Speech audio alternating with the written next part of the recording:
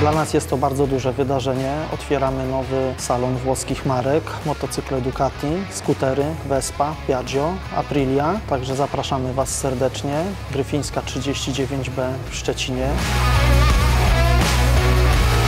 Tutaj, gdzie znajdujemy się e, w tej chwili, mieści się salon Ducati. Po mojej lewej stronie mamy serwis motocykli Ducati oraz skuterów z grupy Piaggio. Natomiast po mojej prawej stronie znajduje się stricte właśnie salon skuterów. Również mamy odzież e, włoskich marek, takich jak Dainese, kaski AGV, rękawice, spodnie, e, kurtki. Wszystko dla motocyklistów, łącznie z taką bardziej casualową odzieżą, czyli motocyklowe jeansy. Także zapraszam serdecznie. Myślę, że każdy z Was wybierze coś dla siebie.